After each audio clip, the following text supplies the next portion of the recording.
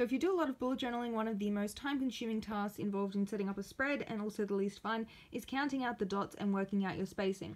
So every time I get a grid notebook, I will count the number of dots horizontally and then also vertically and then put it on a sticky note which I put at the front of the notebook for future reference because every single grid notebook has a different count for some reason even though they're 5 mil spacing you know they've all got slightly different counts and margins and everything and it's really annoying um, especially if you switch between grid notebooks as often as I do.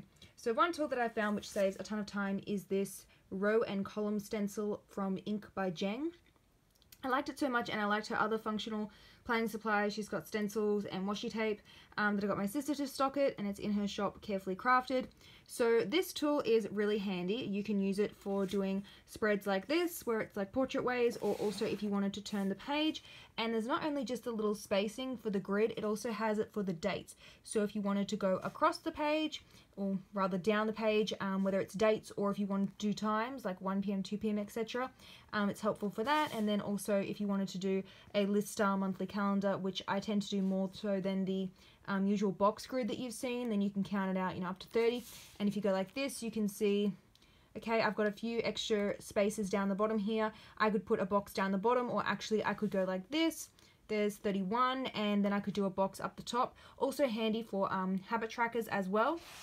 And if you wanted to use it for a bullet journal spread, I'll show you how I used it for this simple one here. I know it looks very simple, but it actually does take time to count out the dots. And then I'll usually go, if there's like 40 rows um, vertically, and then I want seven, and then you count that out, and there's always a few extra. And you're like, do I want that at the top or the bottom? With this, you can just get the stencil and then just move it to where you want it. So obviously you want to put it on the last row. May as well put it over where I did it. And we can see it's lining up. If I zoom in, see how you can see the dots through the little gaps? It's quite handy. So we can see if you wanted to do this one here, which is 5, you would put a little dot in the little hole here as like your marker and you'll have one extra one down the bottom or you could move it down like this and you'd have a little bit extra up the top. So to do my one here, I did the 7. So we can see I've got, see how there's like a marker dot I always do this with my friction erasable pens or any, you can use any erasable pen, but I like the friction the best. They don't tend to um, stay like they'll fully erase. So I've got one dot here and then I've got the next one and you can see I used that to create my little template and then if I move that over you can see I've still got those dot remnants there and then all you need to do is just rule your line. So it makes it a lot quicker, um, much much better and time saving and you can do that um, across the page as well. So if you wanted to do a two column list you can see I can fit a two column in here and I'll have about 12 dots in between.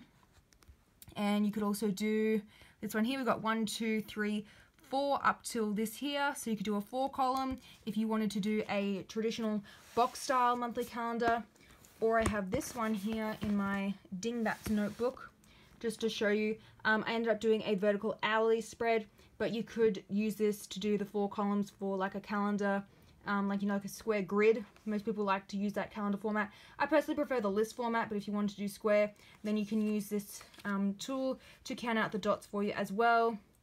So we can see we've got a few options. Wherever the dots line up where you can do your your markers or you could go like this. Okay so I've got space for one two and then it's a bit of a gap so maybe I should look further down Okay, I'm going to do one, two, three. So it's just really handy and helpful, and I really like that it gives you the count as well in between to tell you how many dots there are. Also got the vertical for the monthly. So I've used this mainly for weekly spreads and then just a monthly list style calendar, but you could really use it for anything if you want to do up a grid for like meal planning, habit tracking, etc. Very handy stencil. It is rather thin and this really bendy plastic. I do wish it was a bit sturdier. It has held up alright um, so far. Something a bit more sturdy would be preferable, but for some weird reason, stencils only seem to come in like the thin plastic, which is really unfortunate. So, you know, take what you can get. Um, it's definitely saved me a lot of time. So if you like the stencil, I'll have a link down below to my sister's shop where you can get it. And I will have some photos of spreads that I've done using this stencil as well, which will be linked in the description box below.